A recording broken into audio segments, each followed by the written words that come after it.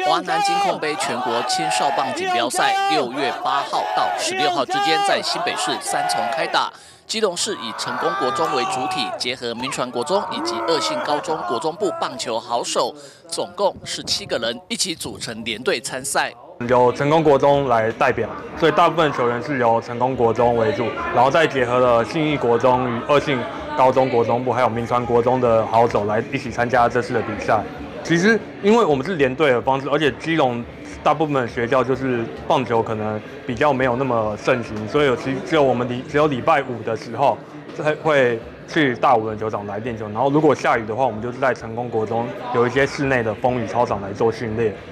不过，因为球队急需球衣和球具，本身热爱棒球、一向支持棒运的基隆市议会议长童滋卫，亲自透过中华职棒球员工会募得所需要的资源，包括捕手护具两套、硬式球棒两支、硬式棒球五打以及练习衣二十件，希望成功国中棒球联队打出好成绩。可是大家这样子努力，克服我们所有的千辛万难，练球的空间、时间都要用早。还这么去愿意实践自己的理想，所以我非常敬佩大家这样子的努力。那我们也希望在我们从政的过程当中，可以为大家或是为自己的兴趣或梦想，帮大家在大家身上实践，帮大家争取更好的空间跟环境。所以我们最近也去大武仑棒球场做一个会刊，希望把大武仑棒球场变成一个比较适合、比较适当可以比赛的一个环境。感谢